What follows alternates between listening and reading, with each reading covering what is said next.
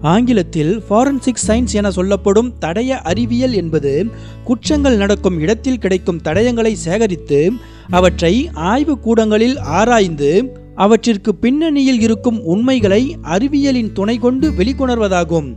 காவல்துறை சட்ட அமலாக்கத்துறை அரசு மற்றும் தனியார் துப்பறியும் நிறுவனங்கள் உள்ளிட்டவை தடயவியல் துறையை பெரிதும் சார்ந்திருக்கின்றன.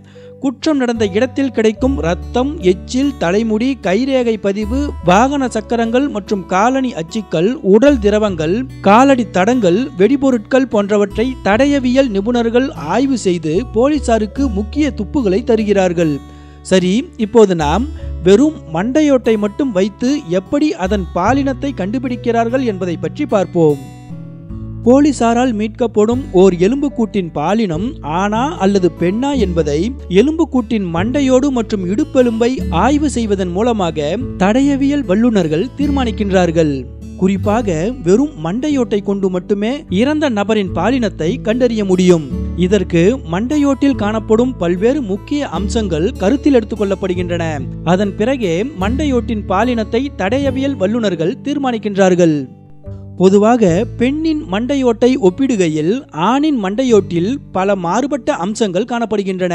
இவையே இறந்த ஒருவரின் மண்டையோட்டை மட்டுமே வைத்து அவரது பாலினத்தை கண்டுபிடிக்க தடயவியல் வல்லுநர்களுக்கு உதவுகின்றன. பொதுவாக பெண்ணின் மண்டையோட்டை காட்டிலும் ஆணின் மண்டையோடு கனமானதாக இருக்கும் மற்றும் எலும்பு மிகவும் அடர்த்தியானதாக இருக்கும்.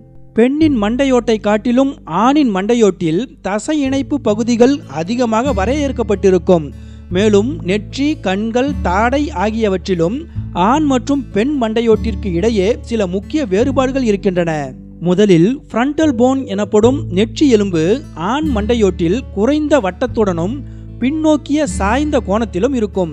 ஆனால் இந்த ஃப்ரண்டல் போன் பெண் மண்டையோட்டில் அதிக வட்டத்துடனும் பின்னோக்கி குறைவாகவும் சாய்ந்திருக்கும். ஆண் மண்டையோட்டில் கண்களுக்கு மேல் அதாவது புருவத்தில் ஓர் புடைப்பு இருப்பதை தெளிவாக காண முடியும். ஆனால் இந்த புடைப்பை பெண் மண்டையோட்டில் தெளிவாக காண இயலாது. இந்த புடைப்பை சூப்ரா ஆர்பிட்டல் ரிட்ஜ் என்று அழைக்கின்றார்கள். அடுத்ததாக கண் துளைகளை வைத்தும் மண்டையோட்டிற்குரிய நபர் ஆனா பெண்ணா என்பதை கண்டறிய முடியும். ஆண் மண்டையோட்டின் கண் துளைகள் ஓரளவு சதுர வடிவத்தில் இருக்கும். மேலும் துளைகளின் மேல்புற விளிம்பு மழுங்கி இருக்கும் ஆனால் பெண் மண்டையோட்டின் கண் துளைகள் கிட்டத்தட்ட வட்ட வடிவத்திலும் துளைகளின் மேற்புற விளிம்பு கூர்மையாகவும் இருக்கும். அடுத்து தாடை எலும்பிலும் சில வேறுபாடுகள் இருக்கின்றன. ஆண் மண்டையோட்டின் தாடை எலும்பு அக்யூட் ஆங்கிள் எனப்படும் குறுங்கோணத்தில் இருக்கும். அதாவது கிட்டத்தட்ட தொண்ணூறு டிகிரி கோணத்தில் இருக்கும். ஆனால் பெண் மண்டையோட்டின் தாடை எலும்பு அப்டியூஸ் ஆங்கிள் எனப்படும் விரிகோணத்திலும் அதாவது தொண்ணூறு டிகிரி கோணத்திற்கு அதிகமாக இருக்கும். மேலும் ஆண் மண்டையோட்டின் மோவாய் சதுரமாகவும் பெண் மண்டையோட்டின் மோவாய் கூர்மையாகவும் இருக்கும். இதோடு மாஸ்டோய்டு ப்ராசஸ் எனப்படும் ஓர் கூம்பு வடிவ எலும்பு காதுக்கு பின்புறமாக இருக்கும். இது பெண் மண்டையோட்டை காட்டிலும் ஆண் மண்டையோட்டில் கூடுதல் நீளத்துடன் இருக்கும். இப்படி போலீசாரால் மீட்கப்படும் ஓர் மண்டையோட்டில் காணப்படும் அனைத்து முக்கிய அம்சங்களையும் பகுப்பாய்வு செய்த பின்னரே தடயவியல் வல்லுநர்கள் மண்டையோட்டுக்குரிய பாலினம் எதுவாக இருக்க முடியும் என்பதை தீர்மானிக்கின்றார்கள். இந்த தகவல் உங்களுக்கு பிடிச்சிருந்தா லைக் ஷேர் கமெண்ட் பண்ணுங்க. மேலும் இது போன்ற சுவாரஸ்ய தகவல்களை உடனுக்குடன் தெரிந்து கொள்ள எஸ்எஸ் டிவி தமிழ் சேனலுக்கு சப்ஸ்கிரைப் பண்ணுங்க.